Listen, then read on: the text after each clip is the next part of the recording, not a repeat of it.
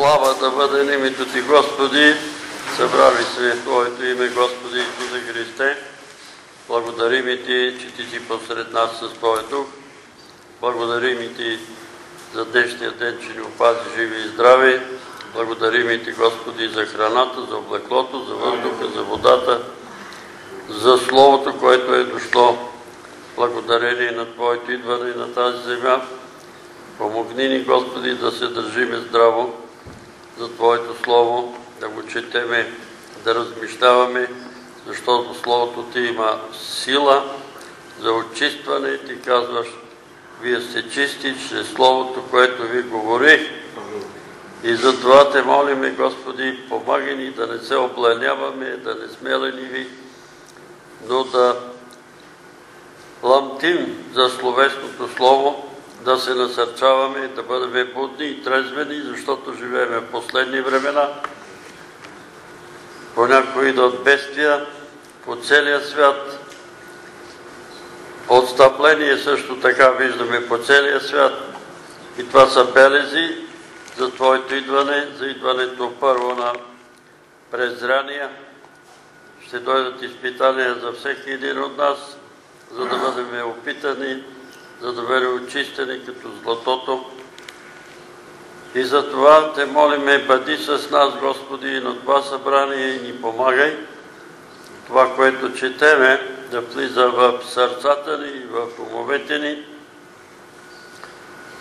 Това, което говорим и това, което се молиме, да идва от сърцата ни, да не бъде само да се доближаваме като лицемерите и парисеите само с устата си, а сърцата ни да стоят далеч от нас по користи и по други неща.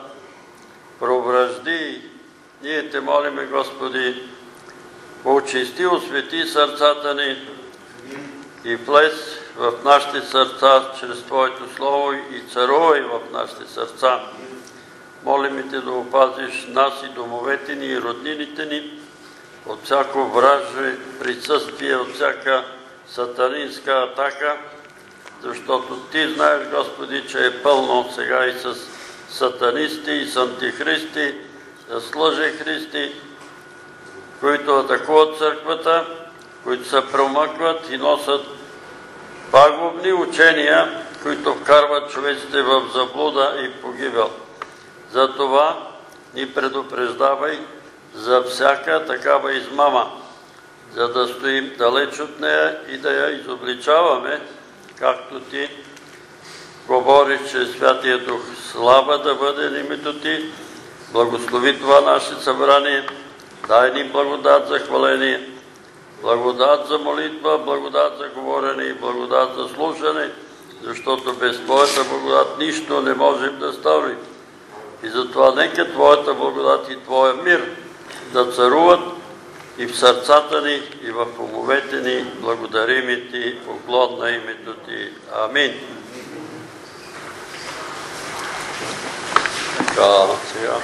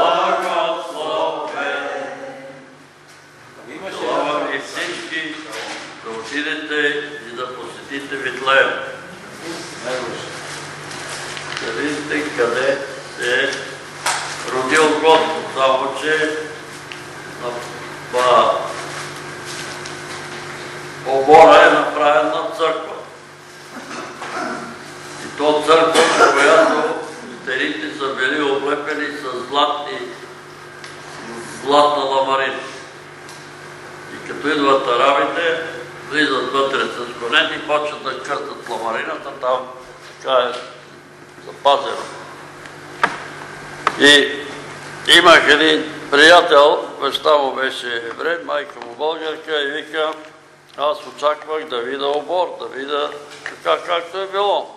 А то златни. И украсено там, дето е точно където е било. До нея има католическа църква, има най-различни църкви, но вярваме, че било е така. Там се е родил Исус. Дойде и това Негово идване на тая земя, богословите наричат първото пришествие на Божия Син. А второто очакаме отново да дойде, когато вече няма да има работа с греха, а ще има работа с своите си да ги привлече към себе си, които са починали да станат от праха, да възкръснат, а които са живи в миг на око да се променят прах Христос и някаква песен там. Нещо за Витлеем имаше, ви я печетихте вие.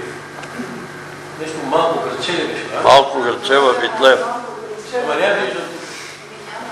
Или няма. Виждате и малко граче. А има ли я тук в Е, това? аз съм видя това написано. Тук има ли в... Абе, Не. качвака май се откъсна, защото не я служи. А, откъсна. Кой го откъсна, бе? Види спадна ли, не знам. Аз не като това първо тази папка взех и не, не мога да намеря. Ма, сестра Валя ще я пусне на стената.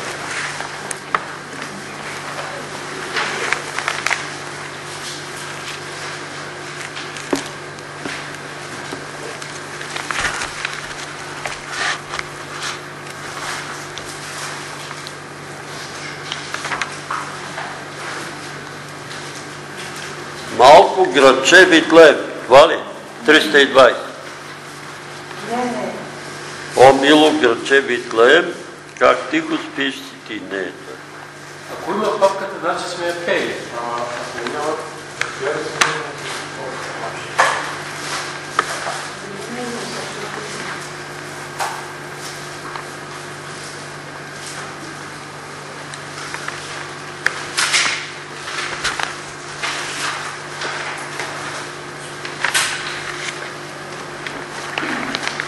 трябва да видим. Нощ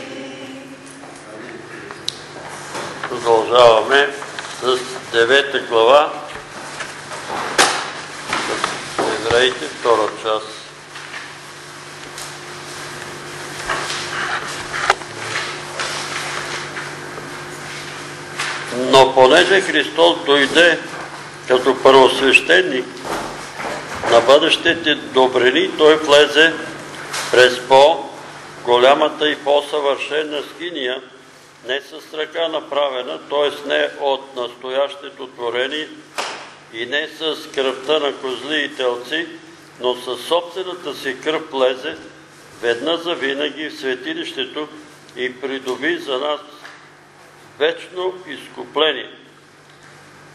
Защото ако кръвта на козли и от телци и пепелта от телица, с които се поръсват осквернените освещава за очистване на тялото, то колко повече кръвта на Христа, който чрез вечния дух принесе себе си без недостатък на Бога, ще очисти съвестта ви от мъртви дела, за да служите на живия Бог. И затова Той е посредник на нов завет, така че чрез смъртта на изкупването от престъпленията, извършени при първия завет, призваните да получат обещанието вечно обещаното вечно наследство. Защото където има завещание, необходимо е да се докаже смъртта на завещателя. Защото завещанието влиза в сила само след смърт. То никога няма сила, докато е жив завещателят.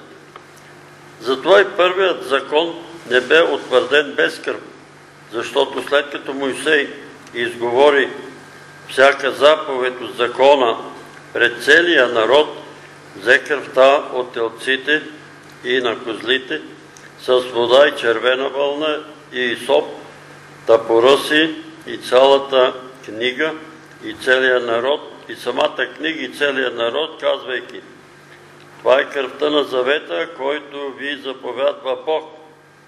При това той по същият начин поръси с кръвта и скинята и всички богослужебни съдове. А според закона почти всичко с кръв се очиства. И без проливането на кръв няма прощение. И тъй, необходимо беше образите на небесните неща да се очистят с тези жертви, а самите небесни неща с жертви по-добри от тези. Защото Христос влезе не в ръкотворно светилище, образ на истинското, а самите небеса, за да се яви сега пред Божието лице за нас и че за да принася себе си и не за да принася себе си много пъти, както първосвещеникът влизаше в светилището всяка година с чужда кръв. Обаче той трябваше да е станал много пъти, да е страдал много пъти от създанието на света. А сега, края на вековете се яви веднъж за винаги, за да премахне греха чрез пожертването на себе си.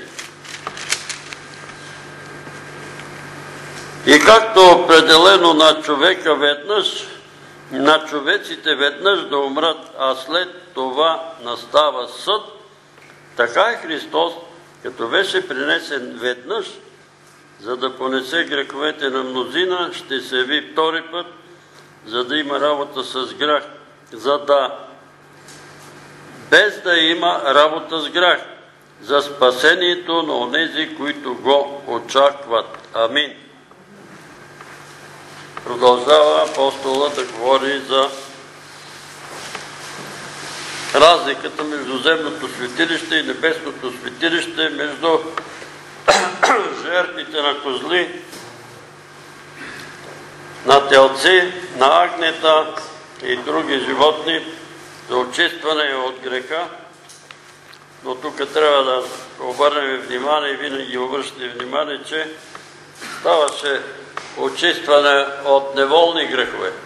Закона, колкото и кръв да проливаме, и затова Господ казва там некъде в пророците, че вече не иска да гледа проливане на кръв, хекатомби и не знам какви хиляда волове, за да се очистват греховете на хората. Не може. Очистват се неволни грехове.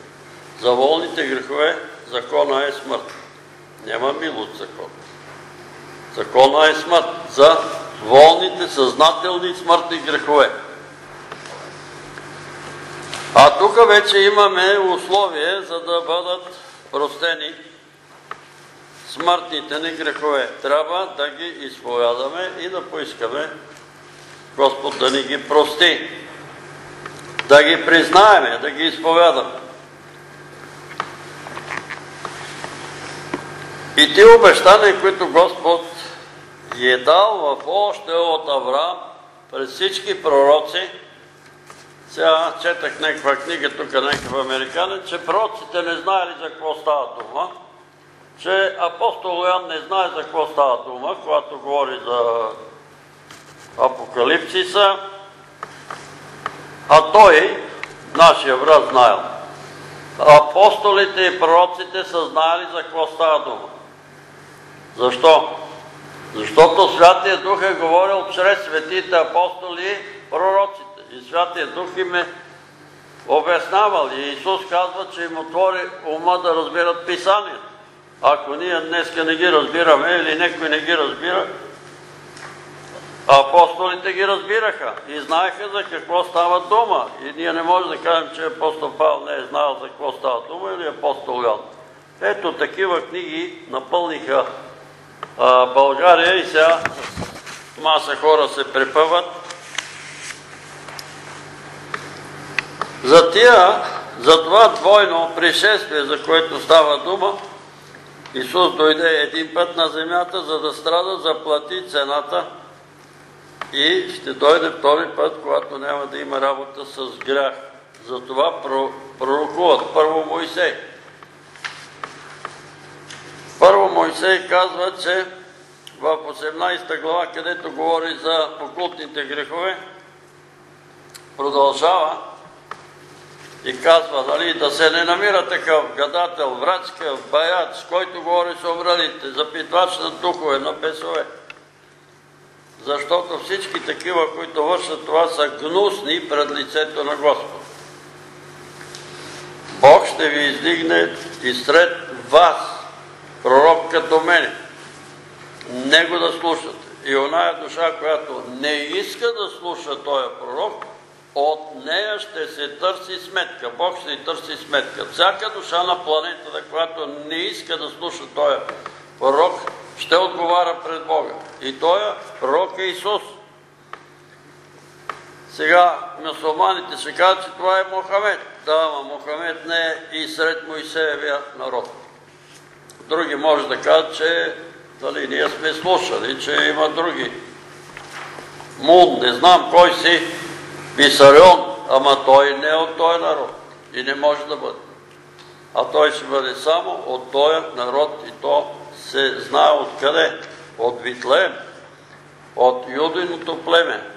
От там ще се роди и той се роди и дойде. И това обещание още е от Адам върви пред цялата Библия, че той ще дойде и това обещание на това обещание ще бъдат наследници всички потомци на Авраам, които са потомци по дух, не е само по плът, защото някои потомци по плът на Авраам са врагове.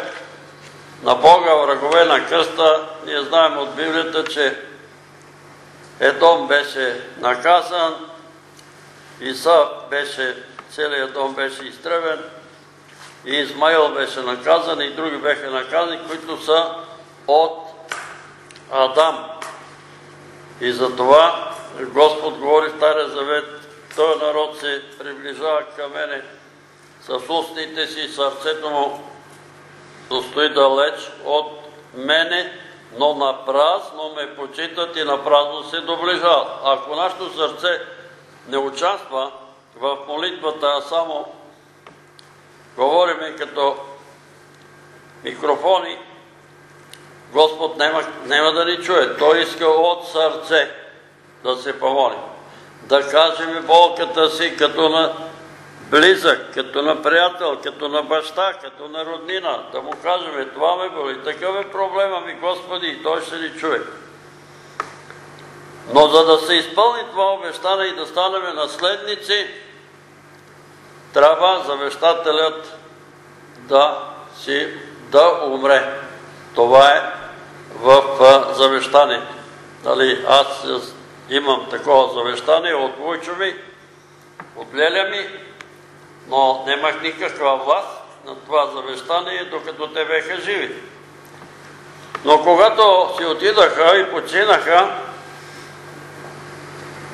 там беха се събрали техни роднини да делат имота и аз отидах с едно личе, такова толкова големо, и там пише че аз съм наследник и като го прочете служителката каза, о, ма ти си наследник на баба Ана.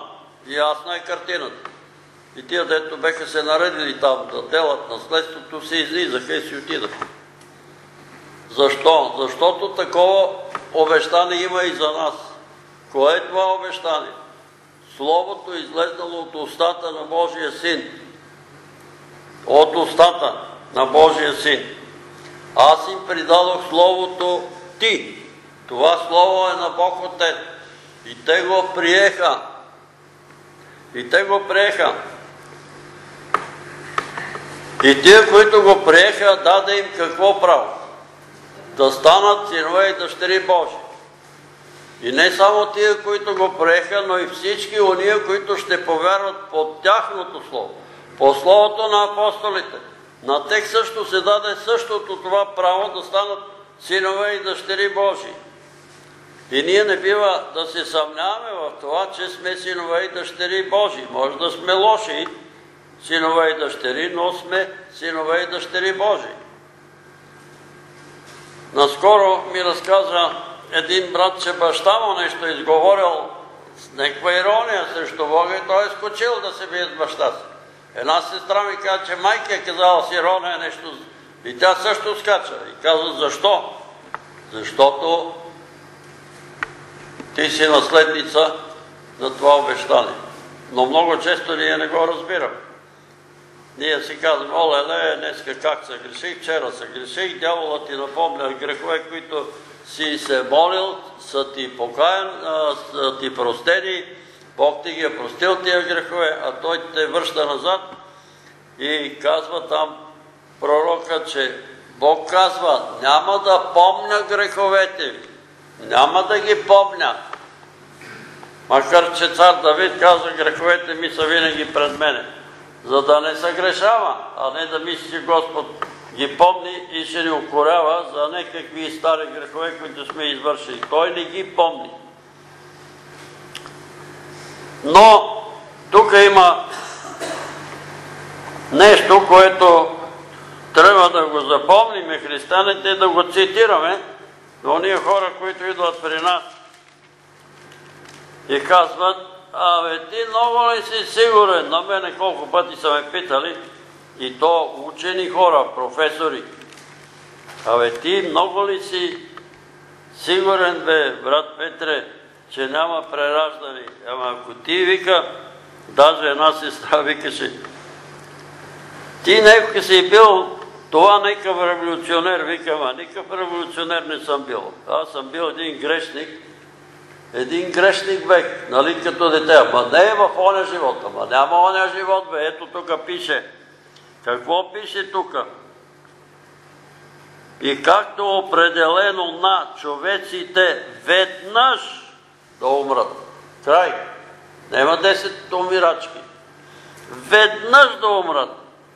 А след това настава съд.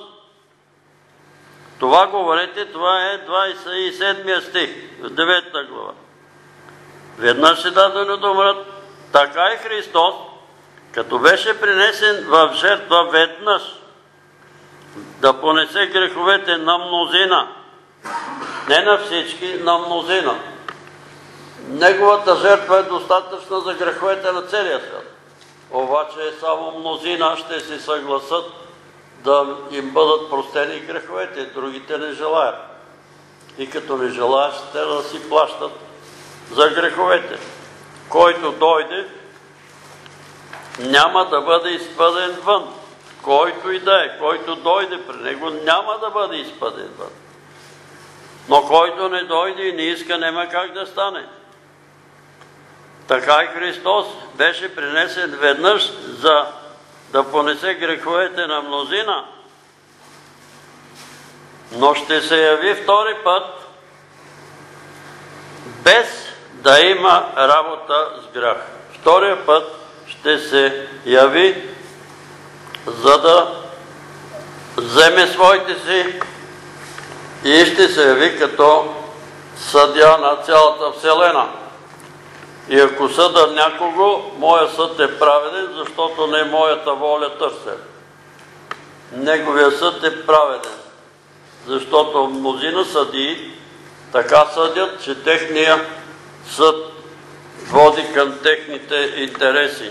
Защото законът, като съдържа в себе си само сянка на бъдещите добрини, а не самия образ на нещата, никога не може с едни и същи жертви принасени непрестанно всяка година, да направи съвършени онези, които пристъпват пристъпват да жертват. Иначе не би Иначе те биха престанали да ги правят. Те биха престанали да ги правят.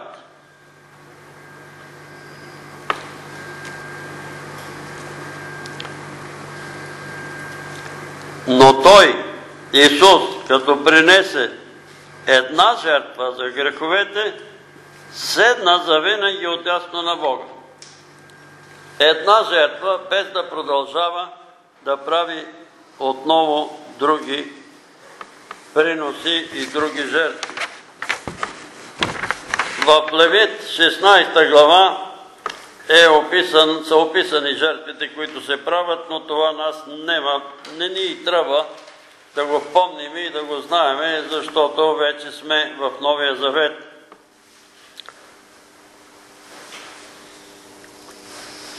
В 17 глава, когато се молише в Гецимания, Господ Исус Христос каза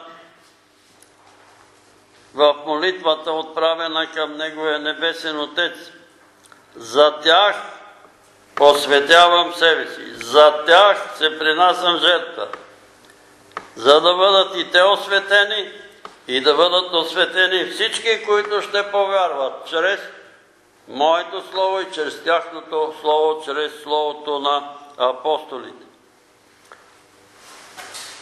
Апостол Иоанна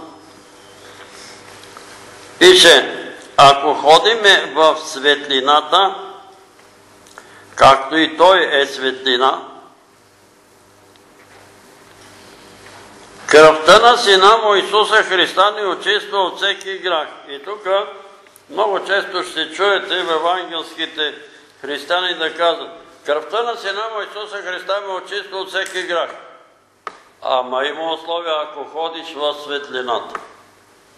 Ако не ходиш в светлината, ако мразиш брат си, ако мразиш сестра си, и аз съм чувал такива и ги знам, такива брати и сестри. Цитират и стихове. Кръвта на сина му Исуса Христа ме очиства от всеки грах. Кръвта на сина му. Сестро, обичаш ли брат? Еми, ние с брат ми не мога да се разберем. Нема да стане. Нема да стане. Трябва да се помириш с брат. Който мрази брат си е в тъмнина, не знае къде отива. Освен това, неверието е тъмнина. Неверието е тъмнина. С нощи имаше някаква там, какво беше, някакъв стих от... какво беше там? В светлината, от светлината няма буря. Буря от светлина няма. Буря от светлина няма. Няма. Ако ходим в светлината, няма да има буря. Няма да се караме, няма да се бие. Ще има мир. И ако има домове, където се карат и се бият, те са в тъмнина. Те не са в светлината. В коя светлина? Светлината на Евангелието. Светлината на Евангелието. Некои сестри ми казват, че редовно гледат Джош Майер. Обаче постоянно се карат с мъжете си. И мъжете им казват, абе тая какво ви учи тая Джош Майер? Да се карате с мъжете си. Да командвате, да вие да се налагате, да се налагате ината. И не, че имам нещо против самата Джос Майер, но ние ще се молим сега за едни сестри от Добрич, Бог да ги благослови, да ги помилва. Тя едната сестра дойде дома преди десетина дни, ние се молиме за нея. И тя има някакви полипи в храносмилателната система. От такива полипи, ако не се лъжа, и Панчо е опериран, мисля, че и Пламен. Изглежда много кротка, много смирена сестра. Но когато ви казах, хайде да направим едно отричане по мирния договор, О, аз съм го правила това отричане. Ли да се отречеме от наследствени прокляти? О, и това съм го правил. Ви сега, за да имаш такова заболяване, има причина. Има или си извършила смъртен грах, или имаш родово проклятие, което те гони. Аз съм си изпадала греховете. Молихме се, няма резултат. Какво ще стане, ако още един път направиш едно отричане? Нищо няма да стане. И какво става сега? Че се молиме за нея, защото са тръгнали за някъде три сестри, тази четири били там, и се е казало на некой там, ще загинете. И те са почнали да гонат дявола. Сатана, няма да загинеме, връзваме те, няма да загинеме, няма да стане, няма да се изпълни този план и така нататък. Добре, хубаво, връзваме те, обаче катастрофират. И при катастрофата, дали тая сестра, Ваня, тя е карала колата, е ударила друга кола, Другата кола се е завъртела така, че е минала в насрещното платно. В, това мина, в този момент минава един камион, удара колата и убива шофьора на място.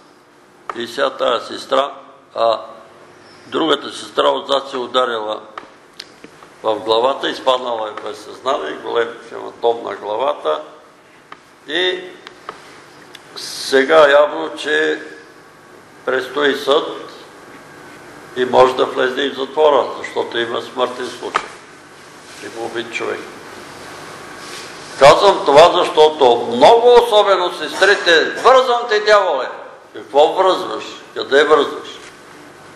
Кой ти даде право да връзваш? Да ме чуе и сестра Марта. И тя вързва дявола, вързва духа на... там? На това, който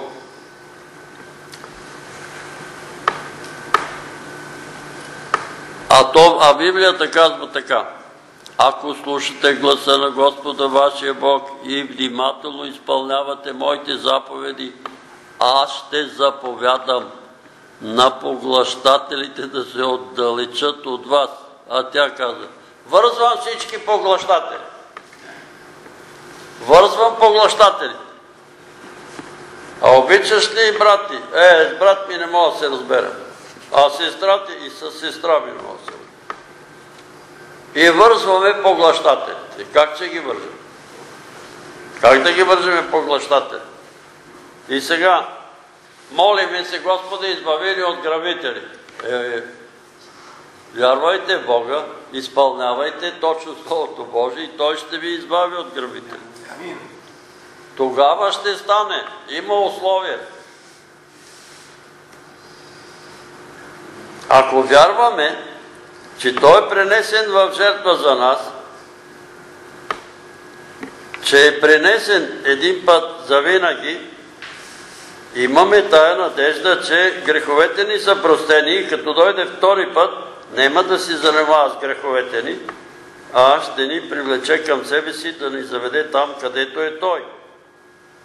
Но и тук има нещо, че некои хора вярват, в това, което е образ. Тук говорим за образ на небесната скиния. Нема да я разглеждаме, тя е разгледана в Левит, какво представлява скинията, светая светих, светая, нали, къде се намира народа, къде свещеници, къде първосвещеника може да влезе един път. А всичко това го има на небето. А това е преобраз, това е символ на това, което е на небето. И в светая светих се намира тронната зала на триединния Бог. И там може да влезне първосвещеника на земната да ходатайства. А Исус е постоянно, вечно в тронната зала и вечно, денонощно, защото там нема ден и нощ, ходатайства за нас. Когато ние изповедаме греха си, когато извикаме Господи, помилвай ме, Той застава пред Бог Отец и казва, ето кръвта ми аз съм умрял за Христо или за Петър или за еди, кой си помилвай го Господ. Отче, помилвай го и той ни милва. Жертвата е пренесена един път за винаги. Един път за винаги. Но ние, които казват това са символи за хляба и виното и казват това са символи, те си са още в Стария Завет. Те още служат на символи. Защото символ е старата скиния. Символи. А какво казва Исус? Който не яде плътта ми и не пие кръвта ми, нема дял с мене. А който яде символи, съжалявам, той яде символи. Той пие символи. Но той не пие кръвта ми и не яде, не яде плътта ми. А трябва да го вярвам. А как така? Нали, чета разни професори, апологети, велики апологети и противоречат и казват каква плът, когато той още не беше разпънат. Каква кръв, когато кръвта му още не беше пролята. Каква кръв още не беше пролята, вика кръвта. Това са символи. Да убедат хората, че това са символи. Е, щом са символи, вие сте си още в Стария Завет. Вие сте, имате работа с символи. Имате работа с символи. А ние вярваме, че ядем плата и пием кръвта на Господ Исус Христос на Господната трапеза. За съжаление и други братя, пастири, същото говореха, но постепенно се убедиха, че не е така. Че истината е това, което Исус казва. Той не може да лъже. Исус не може да говори лъжи. Той казва, ако не ядете моята год и не пиете моята кръв, немате дял с мен. Тежко е това учение. Една сестра, жена на един професор по богословие, ми разказа, че са се познавали с Людмила Живкова. И когато Людмила Живкова умира, тя е сънува или са приятел. И казва, и аз вярвах в Бога, и аз вярвах в Исус, но никога не съм знаела, че причастието има такова огромно значение. Никога не съм се причастил. Нека го чуят тия хора, които казват, нема значение. Може и без Господна трапеза, може, нема нужда. Има нужда. Има нужда. Защо? Ами защото точно това е жертвата, за която се говори тук. Ти не приемаш тая жертва. Там трябваше да отидеш да занесеш едно агне или едно теле, или един овен и ти да го занесеш и да го сложиш там и с кръвта да те поръси свещеника. Да го занесеш това агне. А сега трябва да вземеш от кръвта и да вземеш от тялото на Исус. Ако не го вземеш, нямаш дял с него. Исус го казва. Какво да правим? Еми да вярваме на думите му. Не да философстваме. Ама как така? Еми ти така. Просто трябва да вярваме на това, което той казва. Там в православната църква, когато се пречистяват, хора пеят. Тяло Христово приемите. Приемете го като тяло Христово. Нали, има случай, когато някакви монасили сега бе, какво тяло? Това е вино. И това е хляб. И когато взима хляба, започва да дъвче, вижда, че дъвче месо в устата си и се ужасява, ужасява се и казва, Господи, ти всичко знаеш. Защо си го направил така? Защо го направи така? Неговото тяло се разчупи, разсече заради нас. И това тяло вече, ние не ядеме това прославено тяло, то е прославено, но Господ прави това таинство в нашия живот, за да го приемеме, че сме осиновени и да го вярваме, както аз съм вярвал, че съм наследник на Войчо ми и съм знаел, но когато те си заминаха, отидах там с тази бележка, едно малко белечица и каза, да, ти си наследник. Така ще стана и в съдния ден. Така ще стане. Че ни попита Господ, ял ли си от моето тяло, пил ли си от моята кръв? Не, Господи, ние ядехме и пиехме символи. Е, не ви познавам. Аз не имам работа с символи. Аз имам работа с кръв. С кръв имам работа, не с символи. Затова трябва да приемеме Неговата жертва и да я да си спомняме за нея, да помним. Както на евреите каза, помнете съботния ден, защото в съботния ден Господ ви изведе от робството, така ние трябва да помниме жертвата на Господ Исус Христос, да помним Неговата смърт, защото тази смърт ни освобождава от робството на греха. Нищо друго. Тая Негова смърт ни освобождава от робството на греха. Тая Негова жертва, която Той принесе себе си невинен за нас грешниците, за да бъдем заедно с Него.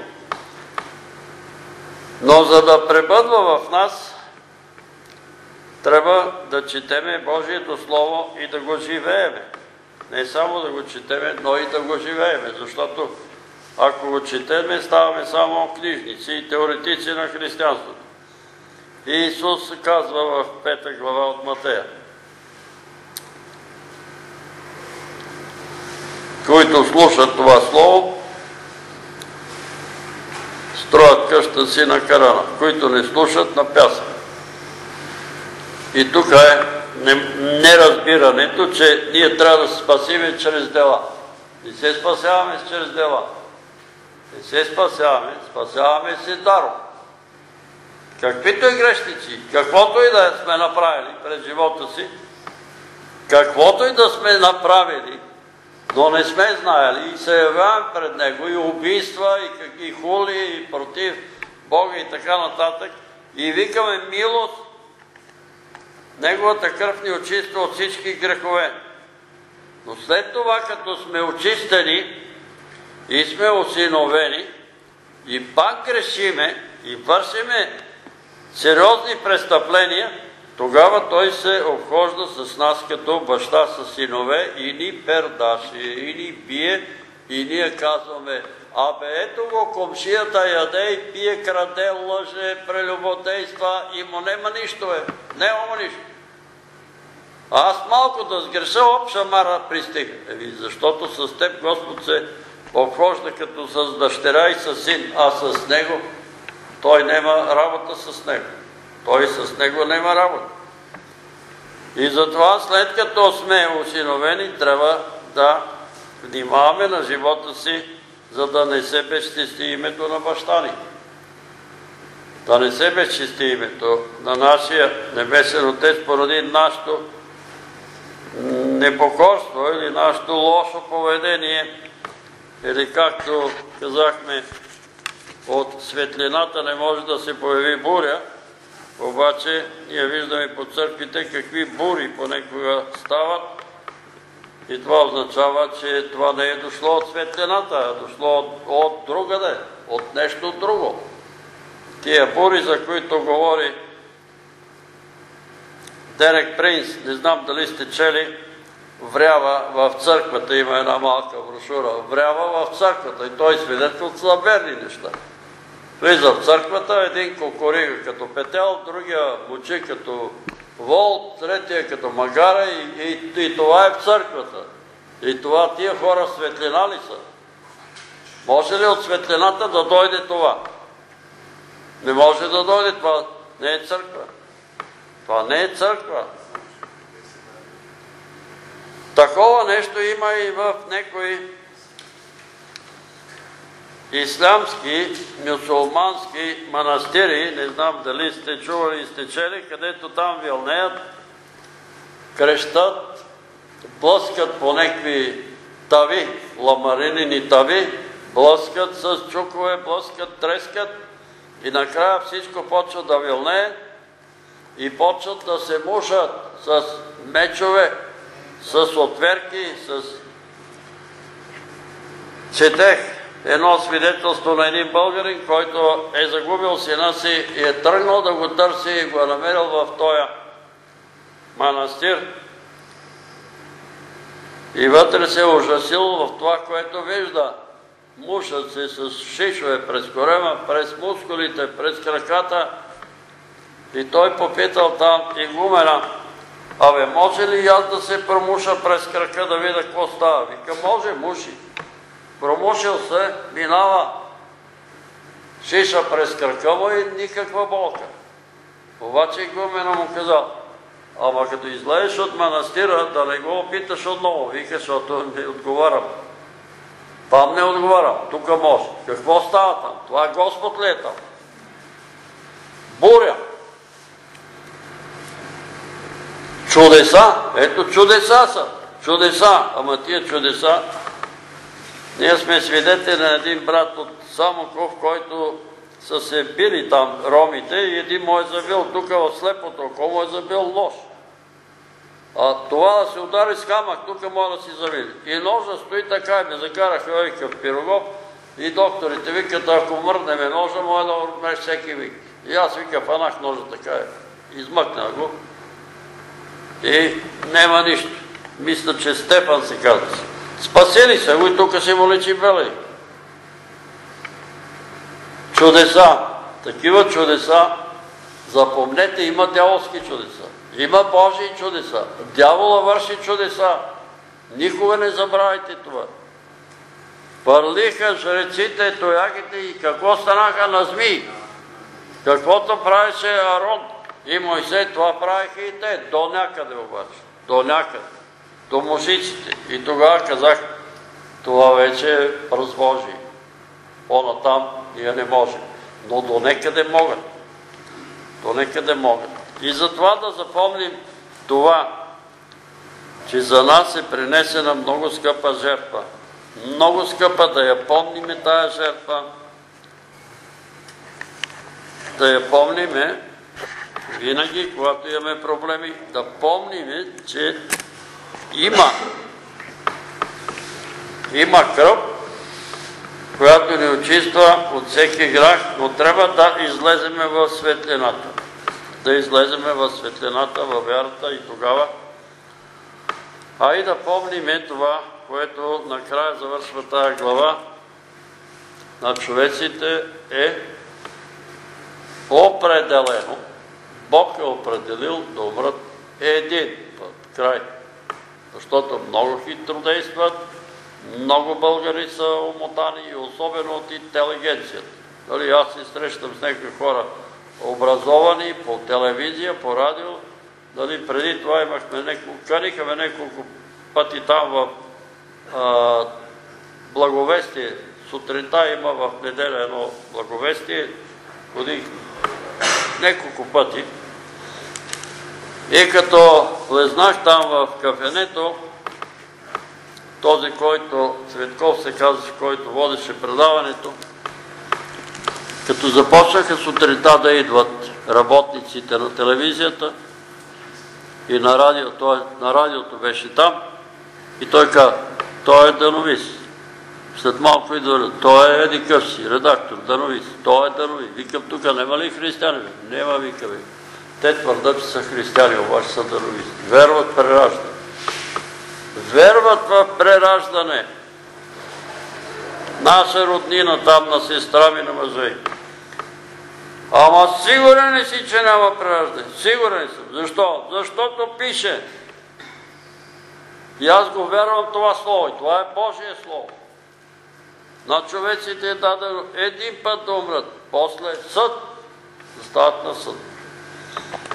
И да помниме тази жертва на нашия Господ Исус Христос и жертвите са до тука. И това запомнете, защото има християни, които още се занимават с жертви. Колат агнета, колат не знам какви там, принасят жертви. Не може вече кръвта на агнета, на козли, на овци, не може да чисти вече. Край. Не може. Само кръвта на Исус. Кръвта на Исус. Друго е, когато некой обещал некво да даде некво тържество или да даде банкет, да го наречем, те пак го наричат а, Курбан.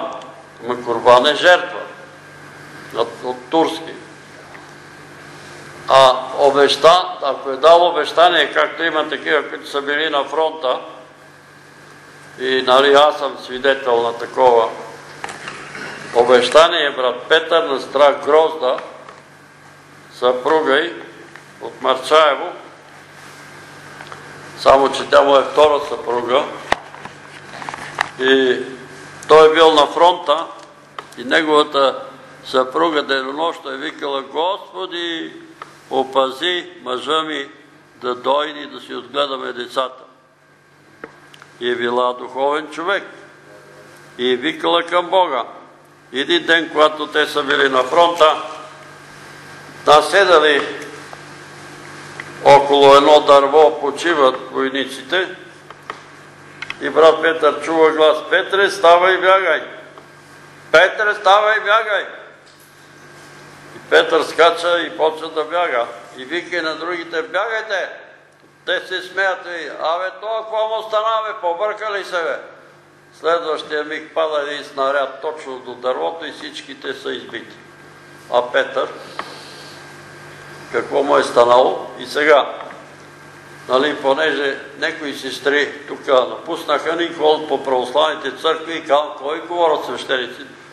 Ами да не вярваме на никакво видение, на никакво откровение, на никакъв глас да не вярваме. Ако Петър не беше повярвал, какво щеше да стане? Щеше да стане на парчета.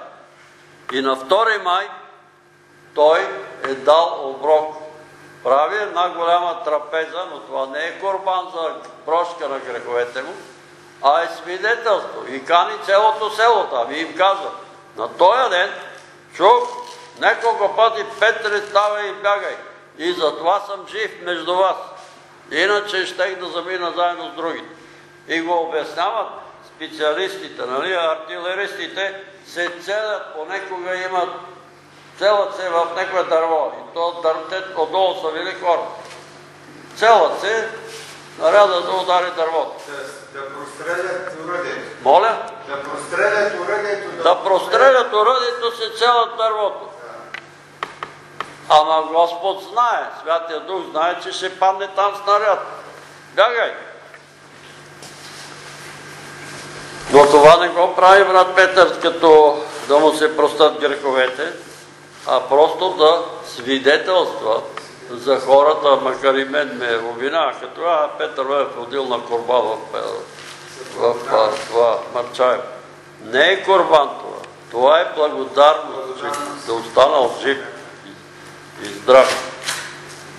И сега ние знаеме вече кой е пренесен жертва за нашите грехове иска от нас Господ да бъдем благодарни и да му благодарим, че Той страда, умря за мен, за вас, за домовете и за родините и да водиме и други душички, защото това е което трябва да правиме. Ние с нощи бехме на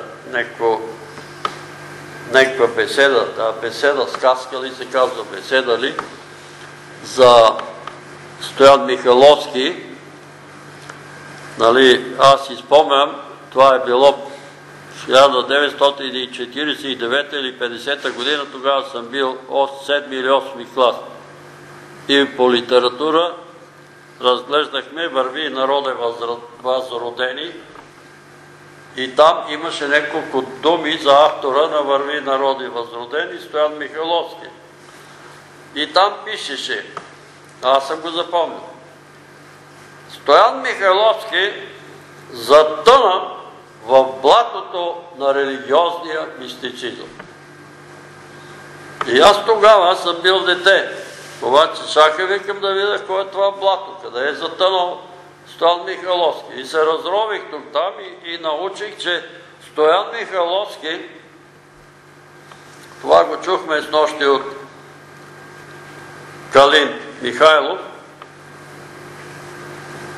нали е бил народен представител, бил е писател, поет, нали знаете, от него има а, такива орел, рак и штука, други какви, нали, а, които и децата ги знаят, и народа ги знае.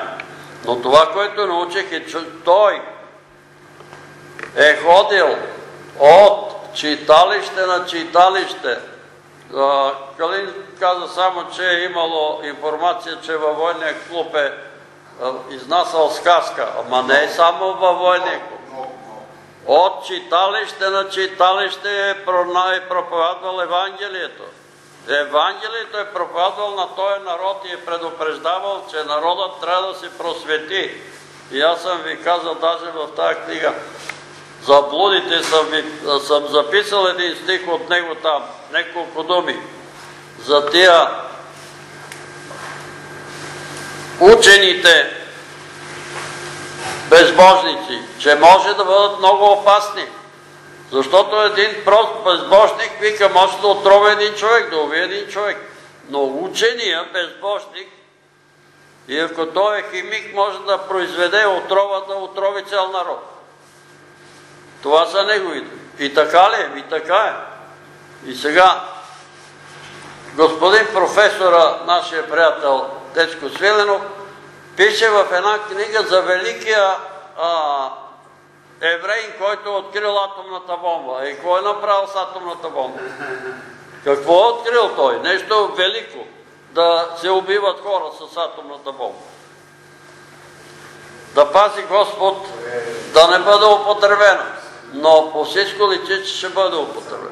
Защото знаете, че тая зема, казва апо- апостол Петър, всичко ще изгори на тая зема. Тая зема ще бъде изгорена. Всичко ще изгори по нея, каквото е по нея. Затова с каква чистота и святост трябва да стои пред Бога, за да може да избегне всичко това, което има да дойде върху тая вселена. Сега припомням ви нещо, което преди много години имах един сън, че се намир, намирам на, в Алпите, може би, на върх Монблан. И гледам на север и чувам от небето глас, който казва, какво виждаш? Виждам една земя разорана, готова за посев. И гласа каза, това е Германия. Тя е готова. Ако се посее, Евангелието в Германия ще даде добър плод. Обърни се кръгом. Обързвам се кръгом. Какво виждаш? Една земя. Тук там разорана, но има и много тръни и, не, и некакъв човек скубе водилите и тръните. И гласа продължи. Това е Италия. Ако се очисти и се насее, ще даде също много добър плод. Завърти се наляво. Завъртях се наляво. Какво виждаш? Виждам едно поле една страна. Трън до трън и бодил до бодил. И гласа продължи. Това е България.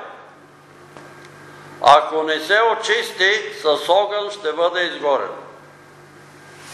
Това чувам, това казва. Ако не се очисти, ако не даде плод, ето виждате какво стана, с огън ги изпърли там тия. С огън ще бъде изгорен, ако не се, ако не даде плод. Затова изкоренявайте търни и бодили, сейте, дано да даде плод. Какво значи сейте? Носете Евангелието всред народа. Носете Евангелието. Сега ние с нощи чухме разни братства. Тия братства са ходили, правили са беседи, проповядвали са, разнасяли са Евангелието. А ние казваме, ми да дойдат при нас. Да дойдат при нас, ние ще им кажем. Нали? Да дойдат при нас. Това е България. Това е брат Христос. Сега много сме велики, нали? Велика България. Ние българите сме така. Ние българите, като сме така, на що сме накрая? На опашката, когато в второзаконие, коя беше? 28 глава казва. Ако, даже и още в 27, ако слушаш Господа Твоя Бог и върши това, което му е угодно, ще бъдеш глава. Ако не вършиш, ще бъдеш опашка. И щом ние сме на опашка, какво значи? И защото не изпълняваме Божите заповеди. Не изпълняваме. Сега, не може ли тия управници наши да, да ги изловат тия телефонни терористи, които обраха едно момче парализирано, нашия приятел Пепи, 10 000 лева, майка са му. Вдовицата. Моля? И вдовицата, майка му. Майка му И вдовица. вдовицата. Едно момче болно и една вдовица. Тех да ги оберат. И два пъти се обаждат на сестра ми. Тя им казала се горите в ада. Те почнали да псуват и да ругаят и да кълнат оттатък. И се обадила там четвърто районно, дошли и тя ги пита, бе, защо не ги изловите тия? Какво да ги изловиме? Народа е глупав и да, пари, какво? Ние не може нищо да направим. Той казва, даде ми ги. Аз не съм му ги взел от ръце. Той ми ги донесе и ми ги даде. На сила му ги даде. На сила му даде тия пари.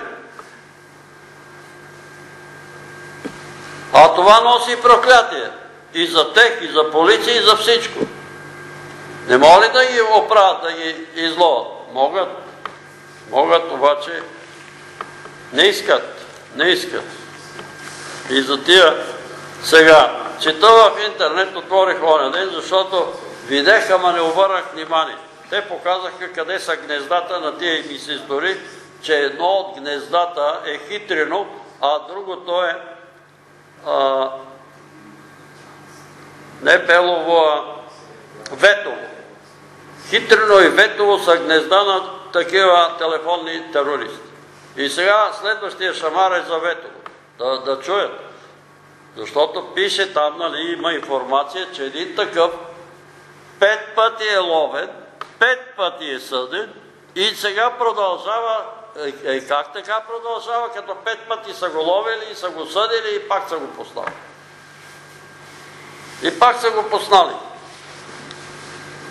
Така че нека ме чуят и да си направят сметка, че може да бъдат опърлери, защото тия вдовици и сираци, които ги обират, като викнат към Бога, Бог ще чуе. Ние четеме там в а, Яков, пета глава. Ето заплатите на работниците, които поженаха нивите и вие ги не им дадохте заплатите, нали с мои думи говоря. Заплатите викат към мене. Господ Саваот. И какво ще стане? Златото ви ще изгние и среброто ви ще изгние. А и дрехите ви молци ще изедат. Защото ги лишихте от заплатите. Затова нека да чуят тия, които ги вършат тия работи и да се опомнят. Явно е, че се занимават с магиосничество и с окултизъм, защото тия хора, които са ограбени, казват, тия беха като, като омаяни, като като омаяни, ама горко им. Така, питайте нещо по тая глава, която се говори за обещанието, за завещанието, за... Разбира се, ние може да намерим много неща в Стария Завет, където се говори точно по този въпрос, за това, че от една страна се казва, че Исус ще дойде за младочката, за Исаия говори там, за пророк Малахия говори за Витлеем, че оттам ще се роди. Даже още Валам пророкува за Витлемската звезда и за жезела, който се издига над ще се издигне от Юда и който ще владее на цялата Вселена. Това владение на цялата Вселена ще стане кога? Когато дойде втори път. Нали? Сега ние ще празнуваме първото пришествие на Исус, идването му, раждането му в Битлеем, но очакваме и второ пришествие. Казва и брат Христо. Въртете, там някъде пише, закона и пророците беха до Йоанна Кръстител. Да, Да. точно така, до Йоанна Кръстител. Оттам насетне Божието царство на сила се грабва и на сила си го грабва. По този стих няма да говорим и мисълта ми е, че рождението на Христос разделя нов завет и стар завет, макар че брат Димитър тук да ви казва, няма разлика между нов и стар завет, но той говори за вяра. Става въпрос за прошката, което ти говори всъщност. А, закона е от Моисея. Преди закона е завета. Завета от, мисля, че от Авраам. От Авраам ли тръгва завет? Или от Адам? От Адам. От Адам тръгва завет. Жертвата е от Адам. А завета, това е нещо много, аз така просто му, да не бъркам, да не изпадна в ерес, аз за това ставам да говоря, за да, да бъда коригиран, ако нещо бъркам. Завета е нещо много, ама много сериозен договор. До договор го разбира. Господ обещава. Свързани с обещанията Божии. Това, това, това, това ще направя, обаче вие трябва да това, това, това, това. Така ли да го разбирате? Така е. А, е това иска да разбера, но значи не от Авраам, а от Авраам, макар че Авраам а, повярва, нали, заветна вяра, ама а, Адам беше от Ама от Адам се даде обещание на Каин, който по, посегне на Каин седмократно ще му се отмъсти. На Каин, на убиеца. Тогава за първ път дава обещание като завет. А Авеловата кръв говори повече, нали? Авеловата кръв е символ на Христовата кръв. Тя говори повече, нали, от а, кръвта на жертвите. Това говори Исус. А от кръвта на Авел до кръвта на Захария, всичката тази кръв ще бъде изискана. По Стария завет. По Стария завет тя ще бъде изискана и беше изискана. Нали? От това поколение. Защо? Защото не повярваха. Тая кръв не е била изискана от апостолите. Тя не е била изискана от християни, но е била изискана от ние, които не го приеха. Той им предложи нов завет, да им се простат греховете, да повярват на думите му и който повярва му се дава право да се нарече Божие чадо. Божие дете. Над него вече Божия гняв няма Божий гняв. Има Божия любов над такъв човек. Но народа не пожела да го приеме. И които не го пожелаха, вече отговориха, изпълни се това, което Исус каза. От кръвта на Авел до кръвта на Захария. Петре, да продължа да пак да не нещо. Да не изпаднем в пере. Правим връзка с тази сериозна теория, то не е теория, то е как на практика аз лично като грешник, Господи, покрий с кръвта си всички мои грехове, които съм забравил. Тия опорни точки на лукавия, които дават право лукавия да ми изиска, защото Господ каза, Петре, Петре, сатана ви изиска да ви пресее. Той непрекъснато не изиска да ни пресее и кажете тук, той е грях, сега дай ми го, дето викаш ти. И почва, ако аз- не съм осъзнал. Моля Господ да ми прости грехове и да ме защити от тия грабители. На практика. Да има мир. Ти пак за грабители. Ама ние говорих, сега, ако аз не съм под ударите, ако, примерно, сестро, не сте го желая, ако те боли кръка няма, а, ако те боли кръка, ще станеш, ли? боли ме кръка, искам да се молим за. Ще станеш ли или няма да станеш? И се мълчиш. А, зависи. Ама аз като ме боли кръка, идва ми казах, ето тук. Болят ме краката. Е, сега, слава Богу, много малко ме болят. Обаче мога да ходя, мога всичко. И това ми е тежи ми, защото Бог е, не е допуснал, а е позволил. А защо е позволил? А защо е позволил? Поради Защо? греховете ми. Ема, не е поради греховете. Поради непослушанието. е пак грех. Ама не е така. Искам да ме разберете. Има хора, които искат да направят нещо много. Ние говорихме сега. Хората искат, сега ми се обадиха по телефона. Молиме се за едно момче, ще се молиме методи. Аз съм свидетел, когато той беше беби, лекарите казаха, че живее десетина дни. И отидах там на Урвич. Има такава детска клиника. И се молих за това дете. Той сега е на 20 и няколко години. Обаче има проблем. Преливат му кръв. Не беше съвършено и царят. Защото и бащата и майката не искаха да повярват от сърце и да се променят. А искат и сега се обаждат какво да направим. И питат, нали, да му а, четат ли Василиева молитва, да му четат ли Кипрянови молитви. Защото се чули, а това момче има проблеми сега, защото мрази баща си, мрази и сестра си. Мрази баща си и сестра си. А има душевно заболяване. Или както тия атеистите го наричат психично заболяване. Такива болни душевно някога са били лекувани в манастирите. Там са ги завеждали и са им чели тия молитви. Ама не са им прочели един път молитвата, както сега става. Ще отидеш в света неделя, ще ти прочитат тая молитва, обаче резултат няма. Защо няма? Защото нито бащата се кая, нито майката се кая. А Господ иска тия хора да се покаят. Ето, Цецке, ти ходиш ли по окултни грехове? Ходиш ли? Сега ходиш ли? Покая ли се? Васил покая ли се? Е, какво стана с Антуанет?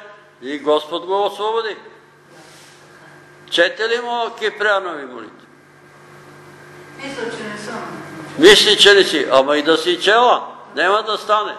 Защото Бог иска да се променят хората. Не иска... И сега те питат, какво да направим? Всичко са готови да направят. Да заковат вол, да заковат теле, какво трябва, само детето им да оздравя. А Господ иска да се променят и да бъдат послушни. Разбирате ли ми какво хората искат? Да направят нещо. Те да го направят, да да угодят на Бога. Да вземат хапче, да вземат хапче, като искат да правят нещо. Е да вземат, ама няма да стане с хапче. Непослушанието е като греха на чародейството. Ама, а, сети ли си сега? Отдавна го знам, брат Петър, да ми прости. Е, оттам, оттам ни идва проблема, брат. Само да завършим. Защо? Разводнявам. И слушай ме да ти кажа. Да, да слушам. Има некой брат, идва и сега, има проблем. И той идва и казва. И сега ми се обаждат по телефона, сестри особено, да дойдем ли да ти изчистиме къщата. Аз си и чиста къща. Сега сестра Валя чистеше и аз по същия начин днеска по врати, по прозорци, къде има то по целия, по целия. А дойдем ли да ти очистиме къщата? Ма няма нужда да ми чисте къщата, бе. Послушайте ме, бе. Сестро, послушай ме. Покори се на мъжа си.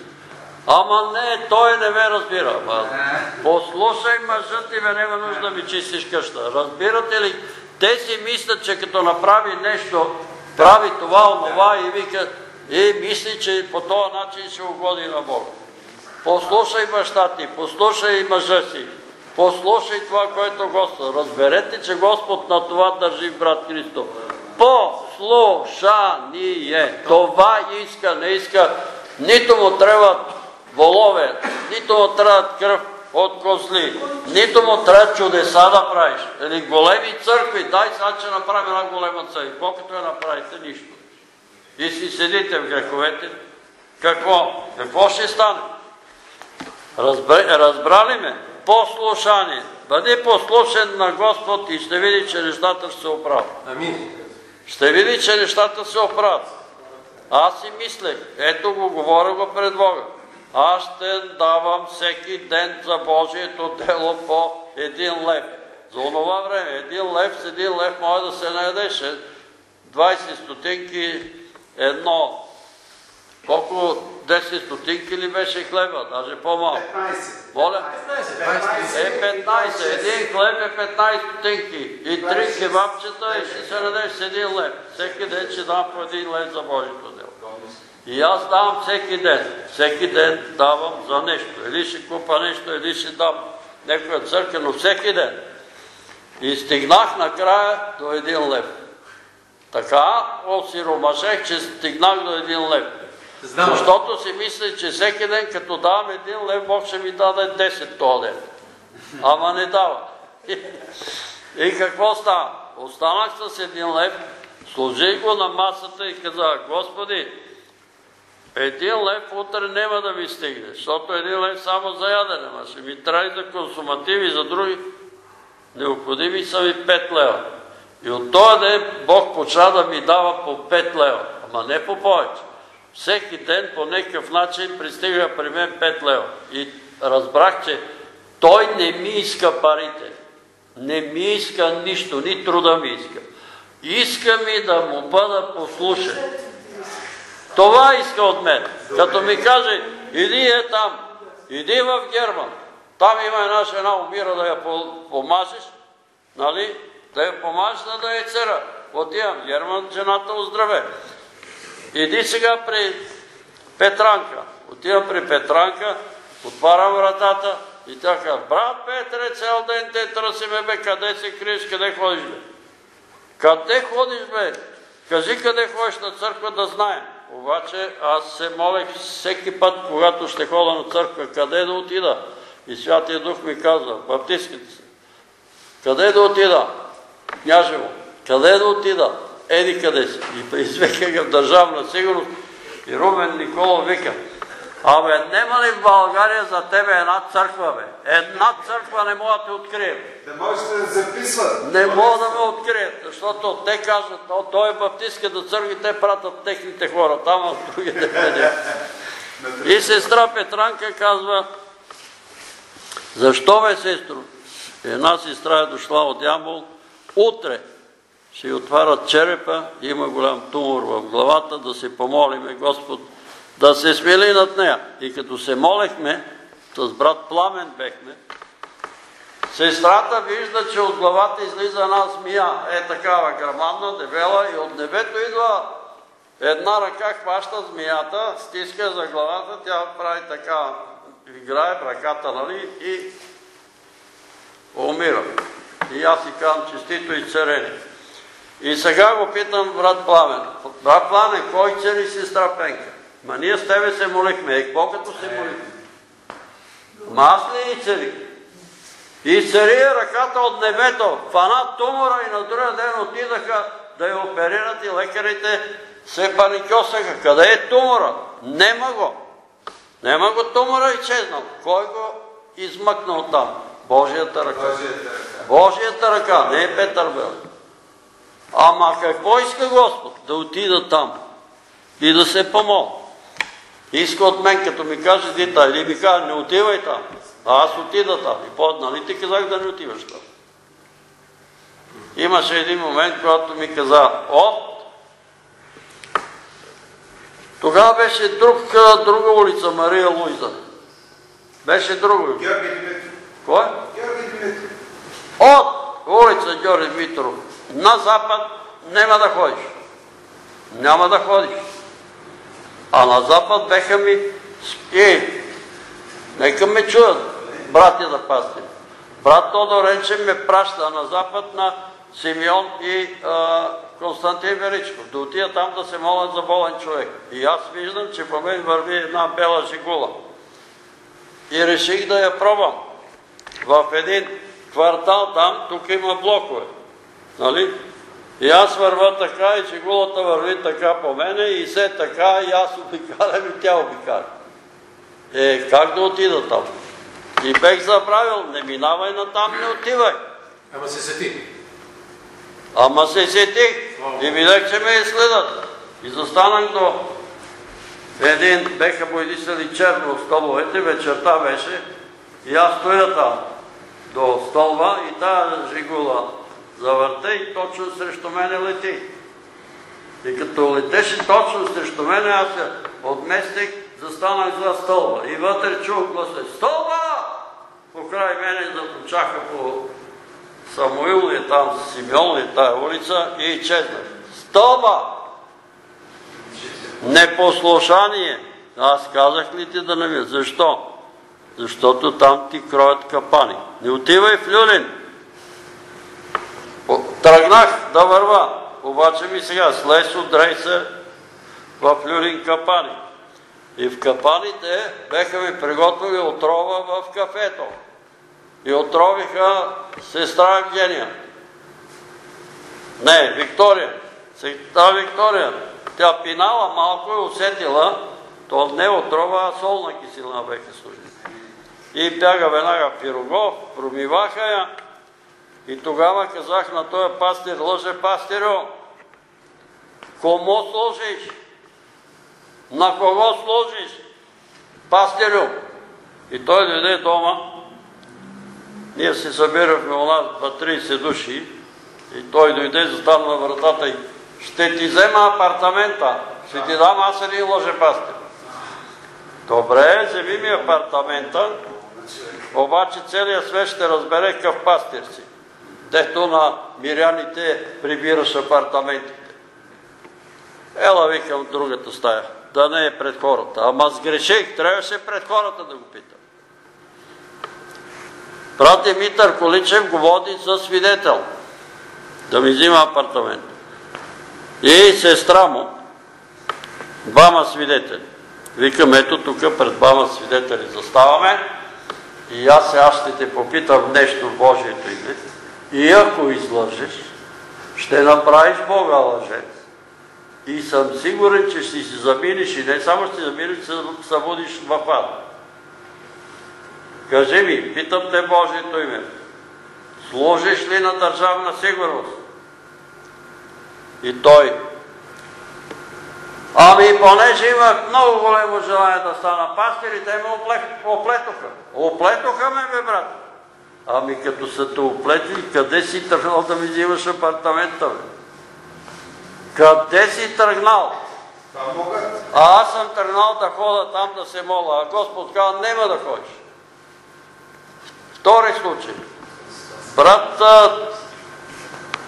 Цачев в банка има болен човек от рак. Ела да се помолиме Бог да го изцели. Той е наш брат, новороден е, кръстен е със Святия Дух, член на 50-тия съюз.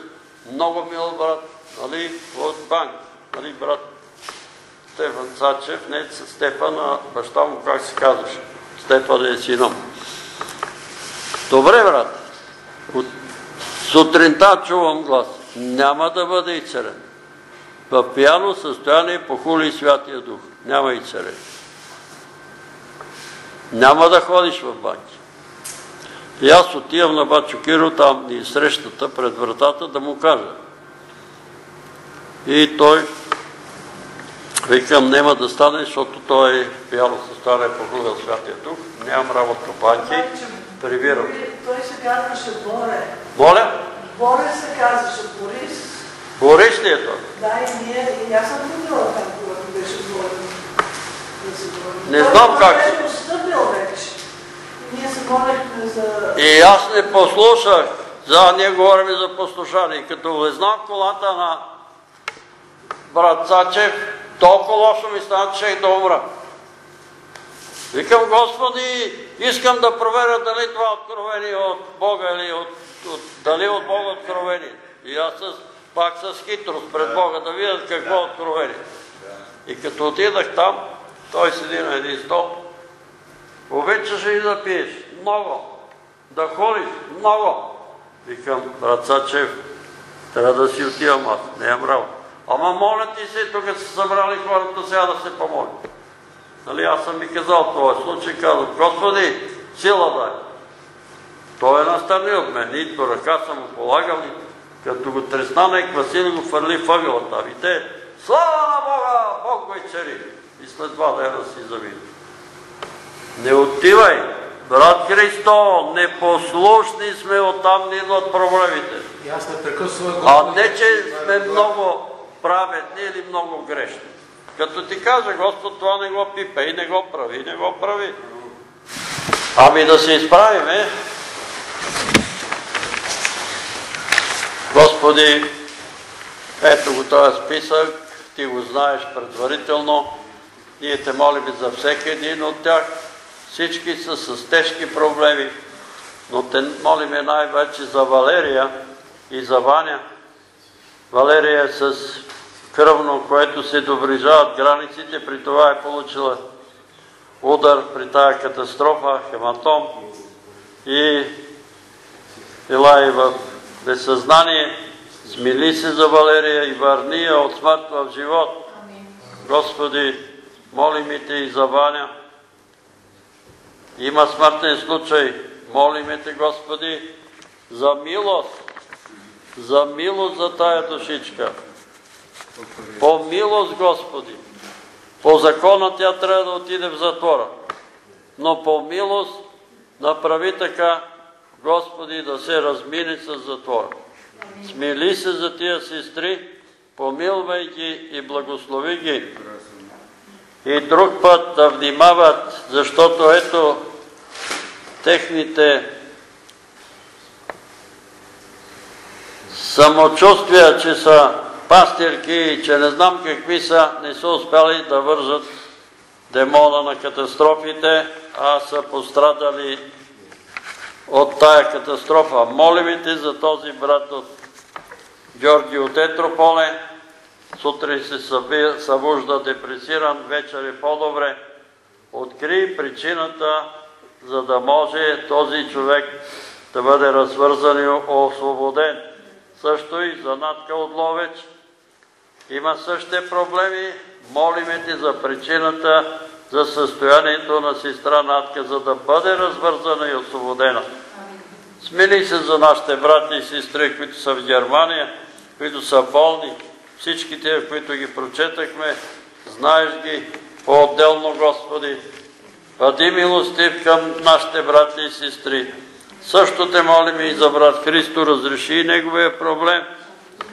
Помилвай го, бъди му предна, задна и странична стража. Ние не можем да се молиме за грабители, но се молиме да ни издигнеш почтени управници на България, достойни българи, хора, които обичат своя народ и своята страна, но ти си ни предупредил, че си ни пуснал като агнета между вълци, а още ни предупреждаваш Души Святи чрез апостол Яков, че приятелството ни със света е връжда против Бога. И затова те молиме да ни държиш и да ни пазиш и да ни помагаш, както и до сега си ни помагал. И ние ти благодариме. Благодариме ти, че болката на брат Христо е преминала, намаляла. Ние те молиме, Господи, за сестра Елена и нейния дом, за брат Кирчо, за децата им, синовете им, благослови ги, помилвай ги. Молиме те за сестра Цветанка, за Иво. Сам не може да се справи, затова те молиме да му побързаш на помощ. Молиме те за Антуанет. Тежко му е, но той сам си избра тая съдба взема големи заеми. Тук много пъти сме говорили, не взимайте кредити. Ние те молиме сега да му помогнеш да си изплати кредитите, защото ти искаш той да бъде в църквата, да го употребяваш. Милост, Господи, за брат Павел и той е самотник, укрепи здравето и силите му. Съвършено здраве му дай. Молиме Те за Божидар, Господи, раната го боли и допусна грешка, вярно е. Ние Те молиме да положи сърцата на наши сънародници, които материално са добре, да се смилат над него, да изпратят средства за операцията му. Господи, милост за сестра Ваня и за нейните дъщери, за нейния дом, благослови ги, помилвай ги, те минават през изпитания. Смили се за сестрата Менушки и брат Георги и чадата им. И особено те молиме за Петя. Господи, отвори сърцето към, да се обърне към истината, към светлината, за да бъде развързана, освободена и крака и да оздраве, а и окото и да оздраве и тя да бъде съвършенно здрава, защото сме абсолютно сигурни, че ти можеш да и царяваш и очи, и крака, и всякакви немощи и болести. Господи, благослови брат Тодор и неговата дъщеря, днес има рожден ден, помилвай я, благослови я и вземи нейната съдба в Твоите ръце, дай съвършено здраве и съвършен мир Молиме Те, Господи, за брат Иво и неговия дом, за семейството му, за дъщеря му и за рода на жена му и неговия род. Ако има човеци, които се стоят далеч от Тебе, привличай и към себе си. Ако има пък такива, които си мислят за много големи християни, но на дело не са такива, дай им да се свестат, да се опомнат. Господи, да не живеят в измама и заблуда. Милост за брат Панчо и за неговия дом. Господи, помилвай брат Ясен, бъди с него, ръководи го, употребявай го, развързвай и освобождавай народа ни. Благодаря ти, Господи, и за мене, че ми дава здраве и сили. Моля те да съсипеш тия нападения, които бяха пред няколко дни, защото проверката се оказа, че сега и кръвното е нормално, и захарта е нормална, но има някакво нападение и ние те молиме това нападение да бъде съсипано и разрушено, плановете на тяло да бъдат разрушени. Молиме те, Господи, за сестра ми. Същото нападение и при нея беше и ние те молиме тия, които са настръкнали срещу сестра ми, да се засрамят, да се върнат назад. Защити я, Господи, тя е толкова години вдовица и ние знаеме, че Ти си защитник на вдовиците. Тия телефонни грабители, които я атакуват, да се разпръснат, да настане страх и ужас в домовете им и да я оставят на мира. Господи, смили се за народа ни. Молиме Те за тия хора, които пострадаха в хитройно. Дай им да се замислят за смисъла и съдържанието на човешкия живот. Това, което са трупали за един миг изчезна. И ако има там такива телефонни грабители, подари покаяние. Такова покаяние срещни ги, изправи се пред тях, че да станат свидетели и на другите да се покаят. Благослови Господи всеки Твой раб, Твой служител, проповедник, който разнася благовестието, който разнася Евангелия, Библия. Молиме Те за всяка Твоя душичка, Господи, за Твоите агънца и за Твоите чада. Помилвай ги, смили се за тях. Благодарим Ти, Господи, за внучето на брат Димитър. Ето тук на това място. Се помолихме за неговата снаха. Дълго време нямаха деца. И сега тя е родила момченце. Благодарим Ти. Слава да бъде името Ти. Халилуя!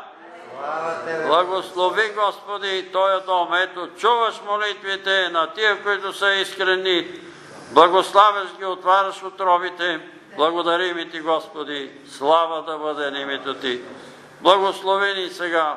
Благослови домовете ни, опази домовете ни от всякакво зло.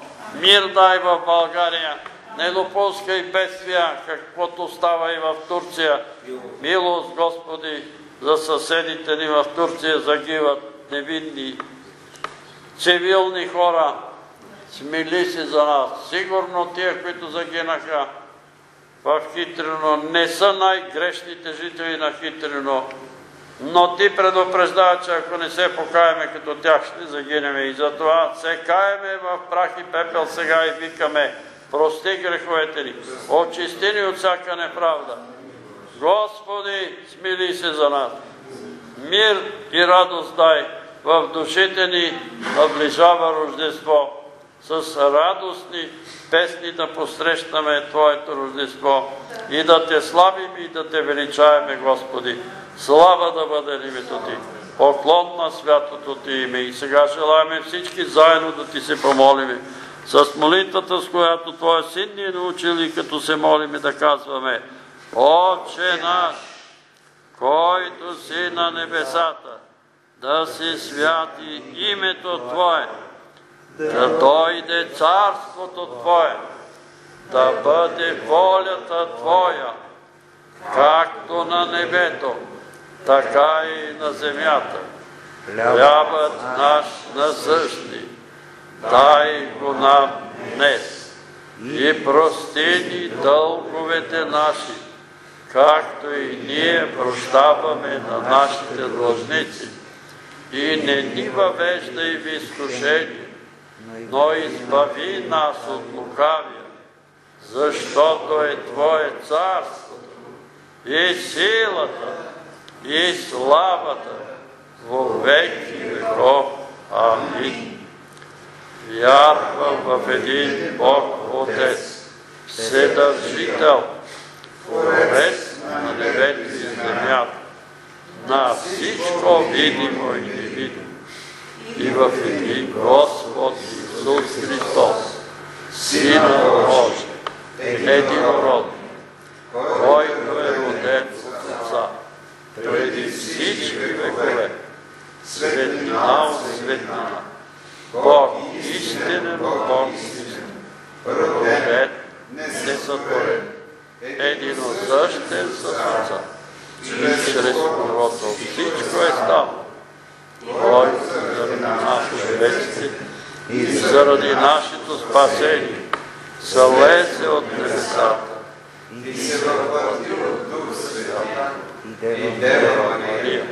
И стана човек и бе разпнат за нас при Понтия Пилата и страда и бе погреба и възкръсна в третия ден според Писание и се възнесе на небесата и седи отясно на Отца и пак ще дойде със слава да съди живи и мъртви и царството му ще има край. И Духа Святия, Господа, животворящ, който от Отца изхожда, комуто се покланя и го слави на равното Отца и Сина, и който е говорил чрез пророците в една свята, вселенска и апостолска църква, изповядваме на рождение за опрощаване на греховете. чакам възкресението на мъртвите и живот в бъдещия век. Амин. Така, ако има някакво видение, откровение, Пропуснах да помоля, да помоля за сестра Имел. Имела да се помоли. много е на зле пътя. стра имела. Нека да се помолим. Господи, Ти знаеш всичко в живота на сестра Емела. Моля Те да й прости всеки грах, неправда, беззаконие, да отсечеш всяка наследствена обремененост и родово проклятие, да я развърши, да я освободиш. Но тя пък и ние подозираме, че тук има някаква намеса, някаква атака на лукавие.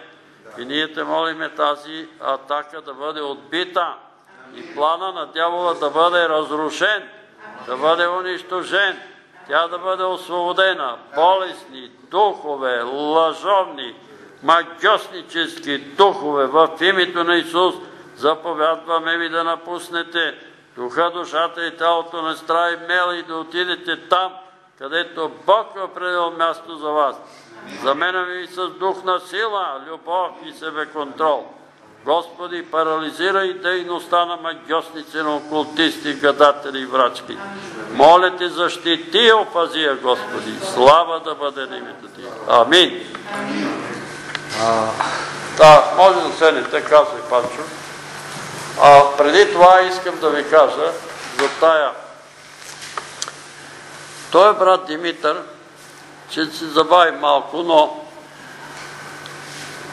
мин, миналата седмица сънувам, че на село имам някакви пилета, пиленца, толкова големи, и по едно време идват едни едно маники, белички идват такива към мене. И тая сутрин се обади брат Димитър от Франция и каза, той е гледал предаването на, за Елия, как нали, лекарите са казали 0% за Пременява и се обажда, вика, бе, молете се и за моята снаха, бе. Толкова години, какво ходиха по Америка, къде ли, не, не, не, не. И ние се помолихме тук и минаха няколко месеца и той се обажда. Брат Петре, има радостна вест. Каква? Абе, снахата е бременна. И оня ден се обажда, във вторник вика, имам радостна вест. Какво? Имам вече внуче, момче. Господ чу молитвата ви. Ето, като се събираме, има ли полза? Има. Аз съм свидетел. Може би тия, дето са малки, те са тия, дето ние сме се молили за те. Първо, моята съседка. Извинайте ви, че ви задържам. Моята съседка изплака и казва, седем години нямаме деца. Моята свекър отваря прозорце през зимата да умра, за да не ги оставам без наследни. Добре, бе, ще се молим и Господ е, ще отвори отровата ти, не се притеснявай. И наистина тот каза бремена, обаче каза, ако има момче, ще го кръста Илия, на пророк Илия. И роди момче. Кръсти го Светослав. Абе, като кажеш нещо пред Бога, ето сега говорим. Абе, кажеш нещо пред Бога, ще и дядото сигурно е Светослав. Не знам кой.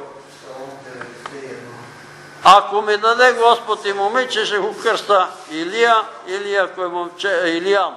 И го кръсти Илияна, Илияна е в националния отбор по волейбол сега.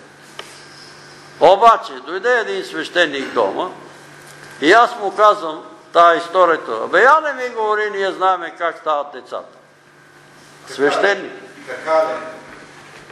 Дървеница, Петър се казва.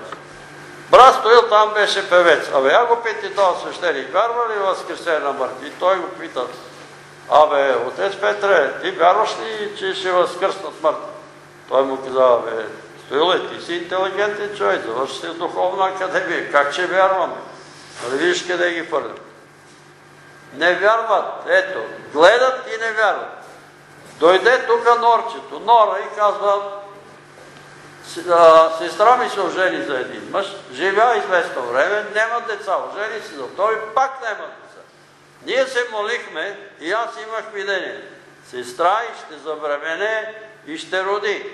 И виждам бърза помощ, че е пред вратата им да я взима за това, за родилно.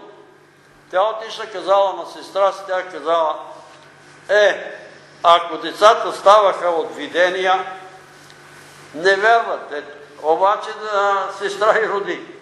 Роди едно, второ, трето, сега три, трето дете. Е, повярва? Моля? Повярва ли? Пак не вярва.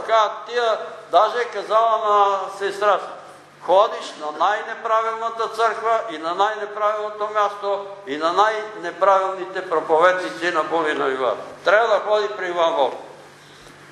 И така един след друг, един след друг, сестра Сашка, вие сигурно помните а, тази от а, Хисар. Случайно дойде на нашото, молехме се на кръстил за майка му болна от рак. И те беха там, дошли да ги видят нещо. Ама може и за вас да се помолите. Ама какво да се помоли? Ама толкова години нямаме деца. Моля ви се. Помолихме се, тя забременя. Свекървата е казала, то Петър Велев ще ви вземе апартамента на вас. Ето като доведе, донесе момчето вика Христо, ето го, ето го изпросене от Бога. Е, Господ върши ли чудеса? Ами върши. Тия хора са били по. Стоянчо от Германия, 12 години. И Ели, брат Петре, имаме едно момиченце от 12 години, искаме още едно детенце да си имаме. Добре, брат Стоянчо, молихме се за брат Стоянчо Изтраели, обадиха се от телефона, прегледа. Дойдоха дома, донесаха го и качиха на масата. Ето го това, молихте се вие там, нали, на Бога и на Ивана, ето го детето. Обаче, вика, стана така, че аз забранях още един път и още едно. Така, че станаха три. Върши ли Бог чудеса? Върши. Кога? Когато се помолим. Когато хората повярват. И не взима апартаменти. А и не взимаме апартаменти. Нема да ти вземе апартамент на месец. Добре, казвай, братки. Да не губим време. За тази сестра, дето тия пасеките, да ги нарича, не, Да, дето и не ги наричам обидно, ама така те събира, събира се кръвно. И понеже конкретно за една се моли, виждам един черен обод, подобно като гръмне атомна бомба, е такъв обод, ама черен. Да. Еми, те имат едно предупреждение, вържват дявола, ама как ще го вържат, не знам. За човека с депресията Георги от Етропол. не беше ясно, обаче така просто ми се даде, че като на стена, нали, като ловците, като убият елен, елента му отрезат главата и заедно с това го правят, го А, има си някакъв идол. Нещо такова, ама Елена вместо да е с нормално такова, като че ли само черепа му. Само череп. Това е за момент го виждам, но като Елен трофей мога да кажа. Какъв е точно не знам. Аз се досещам, като се обадиш и му кажа. Сестра Ваня, когато се моли там, че минава през изпитания, и аз се замислих, викам, то изпитание и аз си изпитание, обаче има разлика между изпитание и наказание. Ми дойде така, изпитание, наказание. Изпитание, наказание. Да ни помогне Господ да различаваме изпитание от наказание. При изпитание трябва да се радваме, а при наказание трябва да се каем. Това знам само, ама дали го изпълнявам. Ами, когато не издържиме изпитанието, тогава идва наказанието. Нали, идва изпитание. Ето, пример казвам. Моите изпитания, викат ми казват, трябва да се разпишеш тук, имаш 50 лева награда. Каква е тази награда? Откъде? Ами, твоята бригада сме я писали тук, рационализаторска бригада. И директорите в твоята бригада взимат тук по някой лев. А, не, няма да я взема. Това за мен е изпитание. Няма да я взема. Ще я вземеш. Касиера вика. Абе, имаше акъл, бе. Дават ли ти взима и гонат ли те беги? А, не. Тия пари няма да ги взема. Не съм работил за тия пари. Това е далавера. Тия са грабители, директори. Да си, те да си отговарят. Аз там няма си сложа подпис. Дойдоха, питат ме, пратили там един Антонов. Защо бе, Петре, ние сме приятели? Защото като вземат тия пари ще умра, бе. Идва началника там на. Ей, да умреш при това небесен отец. А, там да отида, да отида при вашия небесен. И се моля, Господи, писна ми всеки ден идват и ме тормозат да вземат тия 50 лева. Да ги взема ли? Ако ги вземеш, с тия пари ще ти купат погребален ковчег. Отивам там до една гара на площад, неделя имаше една църква, гледам погребални ковчези. Влизам вътре и питам колко струват погребални. Различни са, вика от качеството, но средно 50 лева. Ага, точно 50 лева. И брат Христо, представи си, че аз бех взел парите. И наказанието е погребален ковчег. Разбрали ми какво значи изпитание? За това изпитание, за тия 50 лева ме подгониха, ама такова гонене, от 8 на 2 раздел. Защото ония те, аз съм директор, мога да наказвам, ти оди се оплаквай. Какви ли номера не ми правиха? Обаче Господ ме пази. Защо? Защо ме пази? Правдата. Защото казваш истината. Защото вършиш правдата. И когато беха така, дори един ме фана тук за кушата вика, знаеш колко начини имаме да те ликвидирам? М, Бодлива крава Бог рога не дава. Ти ли бе? Ти за къв се мислиш? Дойдеха хора, вземаха ме от завода и ме закараха в чили, за да не може нищо да ми направят. Докараха ме от те се стреснаха. Ти имаш някой човек. Имам. Много е голям. Е, да не е Тодор Живков, по-голям от него. Нема по-голям. Брежнев. Да, да, да, Брежнев е по-голям. Пак настръхнаха. Господ пак направи нещо, измъкне ме и бе, Господ те пази, но ако устояваш, ако не устояваш, пропадаш. Пропадаш. И затова сега, нали, някои хора дават, пращат средства и казват, искаме тия пари, 200 лева, да ги дадеш на хора, които са безработни, да си купат карти за градския транспорт. И аз им казвам, купете си карти. Ако не си купат карти, утре ще ядат бой, защото тия пари, оня човек ги е дал за карта, за градския транспорт, да може да ходи на църква. Няма значение дали тук ще ходи на църква, или на Бачо Киро, или в Александър Невски, къде ще ходи. Но да ходи на църква. Защото християнин, който не ходи на църква, за мен не е християнин. Какъв е този християнин, дето не ходи на църква? Той не е християнин. И сега вие искате тия пари да ги дам за друго. Не мога да ги дам. Не мога. А има някои, които казват, ето ти тия пари, както разрешиш. Ето, има нужда за ток.